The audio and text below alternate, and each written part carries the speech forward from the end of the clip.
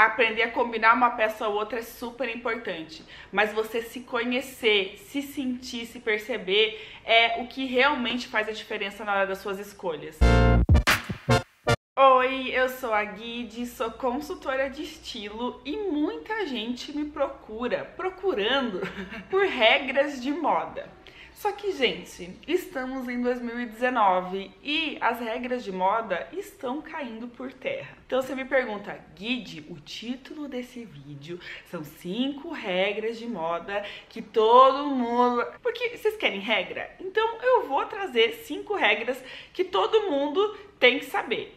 O problema dessas regras, ou a solução delas, é que elas não são fáceis Digamos assim, elas são regras simples, mas não são regras fáceis. Porque o que acontece? A moda e o estilo é uma construção diária, é autoconhecimento. Eu falo muito disso por aqui. E cada vez mais as regras de moda que a gente conhecia antigamente, elas não existem mais. Hoje em dia eu conheço muito mais pessoas felizes por quebrarem todas essas regras de moda que existiam do que pessoas felizes cumprindo todas as regras de moda. Então, as regras que existiam, elas não existem mais. E eu vou falar novas regras de moda aqui, fazem muito mais sentido para esse momento que a gente está vivendo, que é muito mais de libertação, de autoconhecimento e de você ter a sua personalidade. Hoje o nosso maior superpoder é a gente ser quem a gente realmente é, e para isso a gente precisa se conhecer.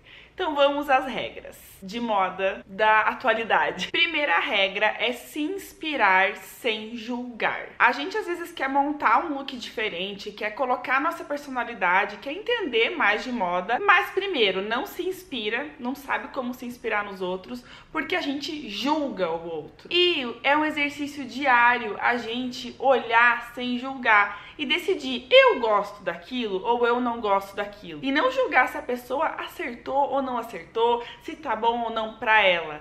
O que importa é como ela se sentiu com aquilo. Então, quando você olhar e procurar se inspirar, seja no Instagram, seja no Pinterest e principalmente na vida real, nas pessoas que estão em volta de você, que estão na rua, inspire sem julgar. Eu vou dar um exemplo se você não sabe como fazer isso não entendeu muito bem.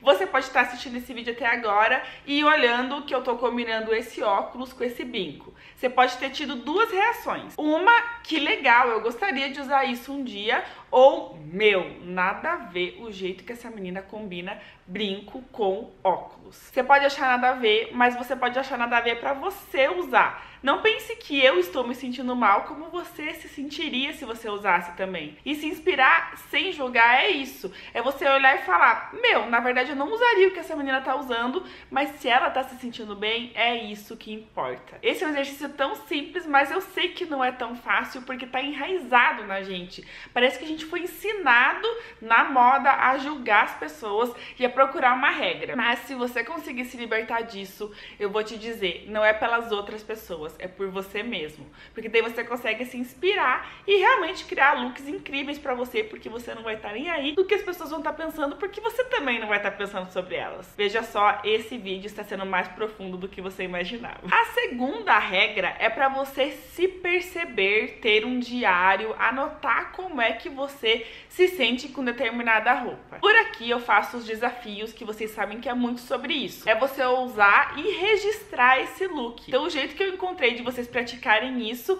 é participando dos desafios. Mas na vida, mesmo fora dos desafios, procura perceber como você está se sentindo com determinada roupa. É isso que vai dizer para qual lado você deve repetir mais ou o que mais você deve usar.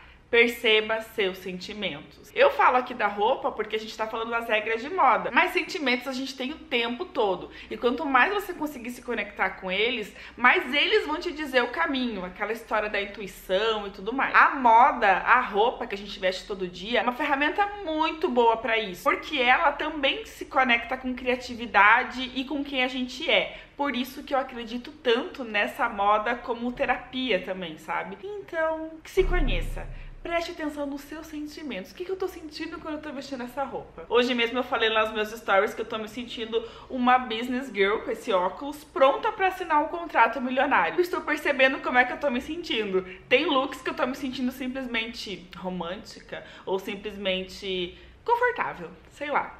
Pensa como é que você tá se sentindo com o look que você tá agora. Já faz esse exercício agora e comenta aqui pra mim como é que você tá se sentindo com esse look de hoje. A terceira dica, eu trouxe uma dica mais prática para vocês não acharem que é só essas dicas meio filosóficas e difíceis de praticar. A terceira dica é você equilibrar o seu look de forma que não tem erro, não importa qual tipo de corpo você tenha, porque na verdade não tem erro de tipo de corpo, a gente já falou sobre isso. Mas equilibrar as proporções do seu look é o jeito mais fácil de você criar e se divertir com a moda. O que, que é equilibrar as proporções? É se você tá com uma parte de baixo mais coladinha, uma de cima mais larguinha. Se você tá com a de cima mais coladinha, uma de baixo mais larguinha. E brincar com essas proporções e com esse equilíbrio faz com que você consiga ver mais possibilidades de modelagens diferentes e entender seu corpo de um outro jeito. Porque nem sempre você deixar tudo coladinho vai fazer com que você valorize as coisas que você quer e nem sempre deixa tudo largo também.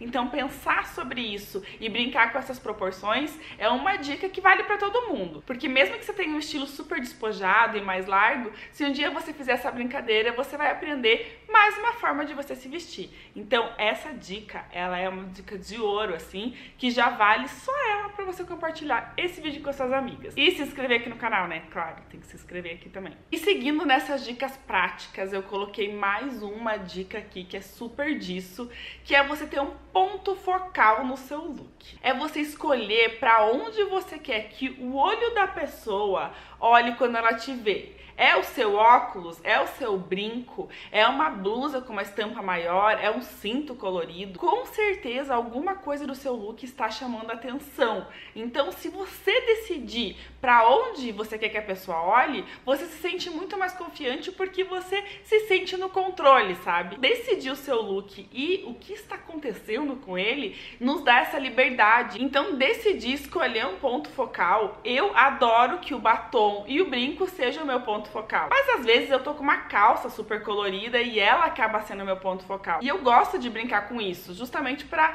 perceber mais como eu me sinto. Vocês estão entendendo que na verdade são degraus? Você vai percebendo uma coisa, outra, outra. E isso vai trazendo o seu estilo e a sua autoconfiança. E é esse o meu objetivo nesse canal. Trazer informação e te trazer muitas ideias para que você consiga criar os seus looks únicos, fora de regras de moda. E por último, e não menos importante, e acho que é o mais fácil de todos os que eu falei até aqui, é prove as roupas. Ponto. Não tem problema provar. Ninguém vai morrer, não vai cair um pedaço de você, ninguém vai vir, não vai vir uma polícia fashion na hora ali no provador do teu lado e falar: Meu Deus, isso tá horrível. Prove provar é de graça, faz com que você tenha uma nova experiência, com que você sinta novos sentimentos. E isso é muito importante nesse processo de autoconhecimento. Claro que aqui, quando eu falo provar, você pode pensar de provar na loja. Mas não, prove na sua casa também. Sabe aquele look que você imaginou? Ah, ia ficar muito bom. E daí você prova e pode ficar muito bom, ou você prova e viu que não deu certo. Mas se ele ficar só na sua cabeça, não vai servir de nada. Você tem que provar, porque é o provar que te faz sentir e sentir te faz ficar confiante e daí, tá entendendo que é tudo um ciclo assim? Fazia um tempão que eu não fazia vídeo aqui falando mais sobre essas regras práticas e tão importantes da moda. Aprender a combinar uma peça ou outra é super importante, mas você se conhecer, se sentir, se perceber é o que realmente faz a diferença na hora das suas escolhas. Então, esse vídeo é um dos mais importantes aqui do canal e eu espero que ele tenha realmente te inspirado e te feito pensar melhor sobre as decisões que você toma todo dia na hora de se vestir. Elas são tão importantes porque fazem você um carinho com você mesma. É isso o que eu mais acho mágico na moda.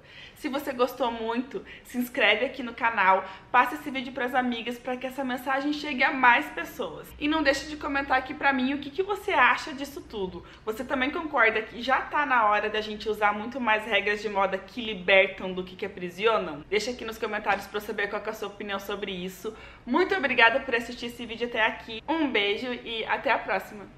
Tchau!